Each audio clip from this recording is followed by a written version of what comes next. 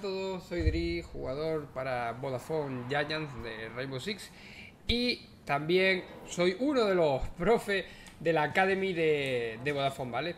Entonces, em, bueno, como hemos estado haciendo estos últimos viernes, hoy vengo a traeros otro consejo para este juego, para el Rainbow Six.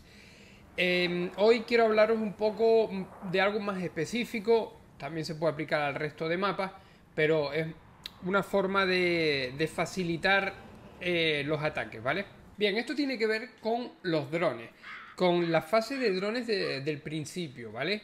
Es muy importante que este dron no lo destruyan, porque normalmente lo que tendemos a hacer todos es meter el dron, ir a buscar dónde está el objetivo, ¡ah! viene el pibe y te lo rompe. No, lo que, lo que habría que hacer con los drones es dejarlos en zonas claves para facilitarte luego eh, limpiar y tener información. Por ejemplo, un sitio bueno en este mapa en Oregon sería aquí.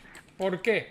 Porque estás controlando eh, la escalera abajo. Siendo, a ver, esto si la bomba es abajo, ¿vale? Controla la escalera y sabes cuántos sale y cuántos vuelven por esta escalera. El otro lo dejáis en torre. Si juegas con un compañero o si juegas tú solo. Y ya estaría, tendrías controlado. Entonces, al empezar la ronda, tú sabes, eh, han salido tres, ha salido tal personaje, tal, tal, y no han vuelto. Entonces ya sabes cuántos hay fuera, cuántos hay, eh, cuántos hay dentro. Si jugáis cinco personas, eh, lo ideal sería que dejarais dos o tres controlando zonas de escalera y los otros repartidos en el mapa para, para saber dónde se han escondido esa gente que, que ha salido. Por ejemplo, uno de los sitios puede ser por allí mismo, ¿vale? Lo podéis dejar detrás de esta máquina para controlar si alguien ha ido al pasillo al fondo. Incluso lo podéis dejar aquí escondido. Eso, ustedes tenéis que usar la imaginación de dónde meter los drones. Intentar no copiarlos tanto los que veis, porque al final eso lo sabe de todo el mundo de verlo. Y bueno, aquí es otro típico. Y sabría si viene alguien a oficina o mini torre, como le llaméis.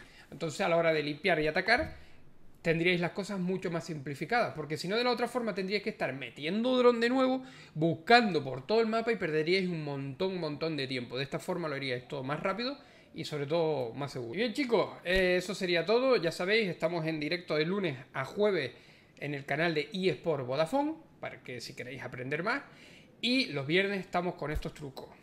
Nos vemos.